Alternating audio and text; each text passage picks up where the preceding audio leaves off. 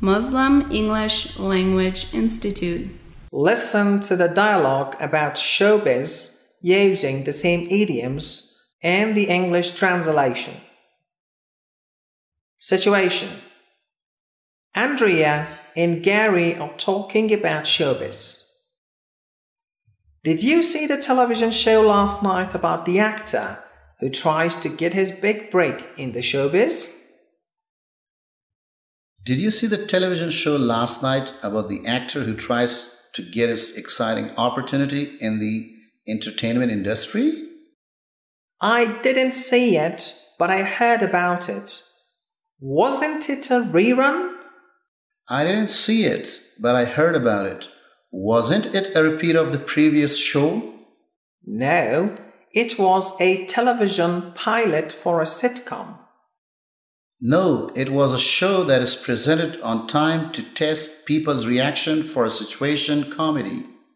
It was a spin off of a series that used to be real popular a few years ago.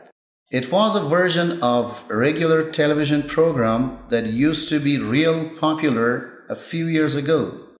So, what did you think? So, what did you think?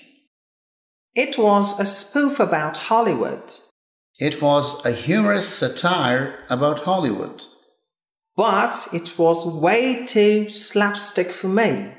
But it was way too physical and clownish for me. The star of the show was a ham. The star of the show was such an unskilled actor who overacts. He did nothing but mug all the time. He did nothing but made overly exaggerated facial expressions all the time. And you won't believe who had a walk on Lee Murphy. And you won't believe who had a small part Lee Murphy. What was she doing in a dog like that?